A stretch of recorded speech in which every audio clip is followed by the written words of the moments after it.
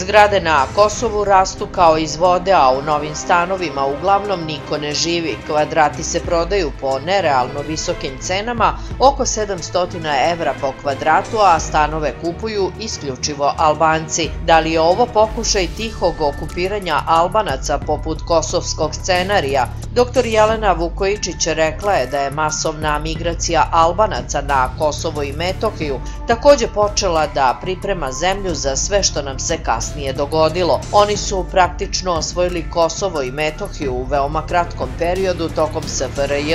Jasno je da Albanci imaju strategiju da nasele područje koje smatraju svojim. Potvrde ideju o takozvanoj Velikoj Albaniji, što je njihov dugoročni plan, objasnila je Vukojičićeva. Ona upozorava da u ovom slučaju treba biti veoma oprezan, posebno jer Albanci u dijaspori imaju ogromne količine novca, a taj novac se u velikoj meri koristi za realizaciju ideje Albanaca u jednoj zemlji. To je prljav novac zarađen od trgovine drogom i tim novcem su u velikoj meri lobirali za priznanje nezavisnosti Kosova, kao i za američku podršku. Tim novcem kupuju zemlju i nekretnine i na taj način istiskuju Srbe iz tih krajeva, jačajući svoj položaj. To je slučaj i na jugu Srbije, što je samo jedan deo njihovog projekta, objašnjava ona. Takođe tvrdi da treba biti posebno oprezan kada je reč o opštini Medveđa, gde Albanci nisu većina, ali su je uvukli unutar svojih granica. Ona je dodala da se ovaj proces ne odvija samo u Srbiji. To se dešava i u Severnoj Makedoniji, gde su Albanci zauzeli polovinu Skoplja,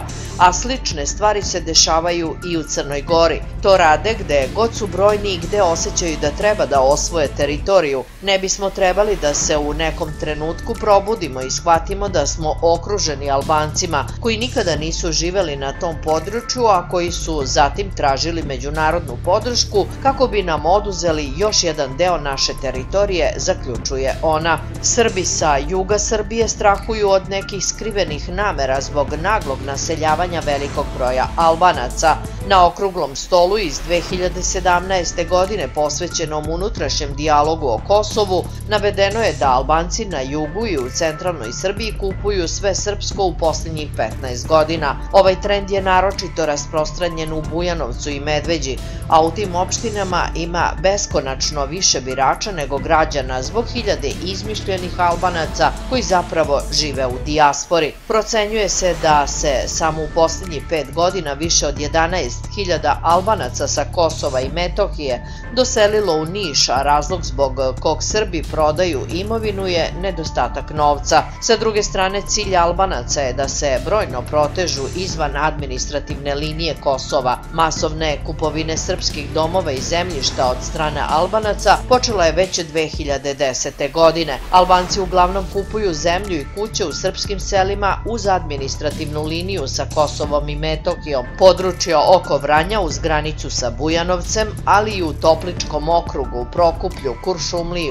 po mnogo višim cenama. Međutim, ne postoje evidencije o prodaji imovine, pa je teško utvrditi koliko Albanaca zaista poseduje imovinu u ovom delu Srbije. Imovinu za njih kupuju upravo Srbi sa Kosova, a sud je sklopio ugovor na osnovu kog Albanac navodno pozamljuje taj iznos Srbinu, a upravo njegova nekretnina garantuje vraćanje novca. Drugi problem je što se Albanci sa Kosova i dalje smatraju državljanima države Srbije, tako da mogu slobodno da kupuju nekretnine u Srbiji. Novi Pazar se takođe nalazi na listi omiljenih lokacija za Albance, ali kupce tamo najviše zanimaju velika seoska imanja udaljena od grada, za koje se uveliko spekuliše da će biti namenjeni za vehavijski pokret. Novopečene pridošlice iz okoline pazara takođe su veoma zainteresovane za kupovinu nekretnina u Apatinu u Vojvodini, gde je navodno već kupljen veliki broj salaša i drugih nekretnina, izveštavaju ruski mediji i portal Fort Rus.